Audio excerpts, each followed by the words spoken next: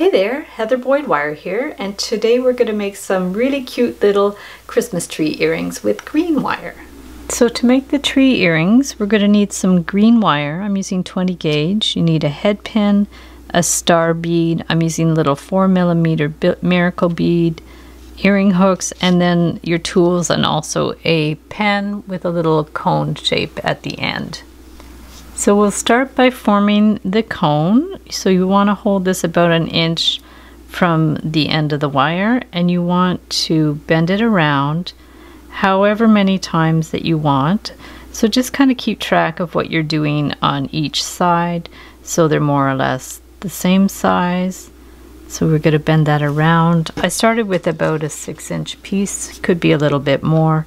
And then what you want to do is make sure your end is cut kind of flat so it's not uh, cut on an angle and then just bend this around okay? And then it's you're going to form your spiral how you want for your tree.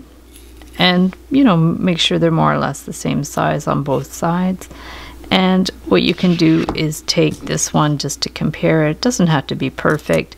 And then what you want to do is make a little loop centered in the bottom.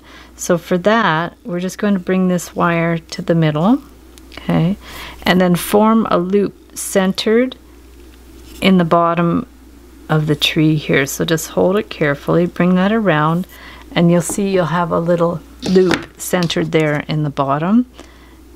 And then clip the end, okay, and push that flat. So now already we have our little cone sh shape for the tree. That might take a little bit of practice to do. And then we're going to get our head pin and put a little bead on the bottom. Okay, and then just through that centered little loop at the bottom and then right through the top where the top loop is. We're going to stick that on there. And then we're going to put our little star bead. I put the pointy end at the bottom. So we'll put the star bead here.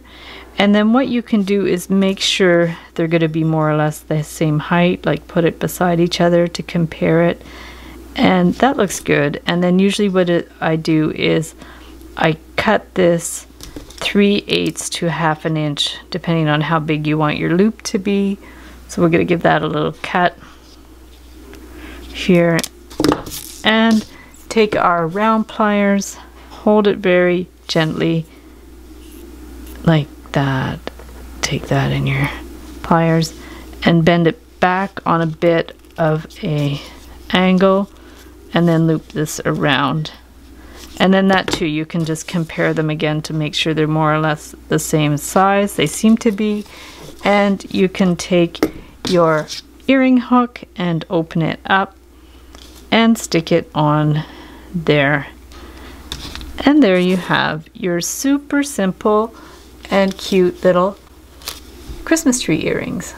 So thanks so much for watching the video. Give it a big thumbs up if you liked it. Be sure to subscribe to my channel for lots more DIY wire art and jewelry making videos. Hit the notification bell to be notified when I go live and when I post new videos.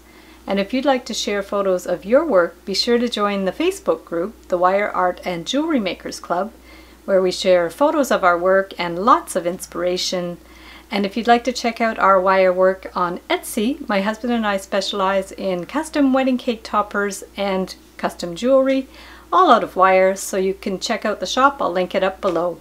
If you'd like to join my mailing list, you can sign up below and I have a little free ebook that also shares all my favorite tools and my materials, wires and beads, etc. So thanks for watching and we'll see you the next time.